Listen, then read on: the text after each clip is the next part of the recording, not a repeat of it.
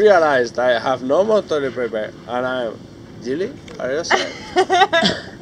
Nobody answered. And I'm like, fuck.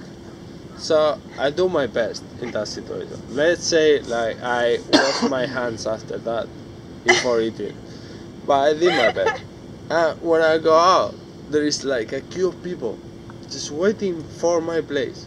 And I'm like, uh, I'm like- no, it's not like the, the one close to me. Seriously, I mean, this one was like And I just don't go there. Listen, I didn't shit in one of those things once. I shat behind a fucking rock or somewhere way the fuck down the gut, like up the fucking hill. Like, okay, I shoot in one, and I Right was there.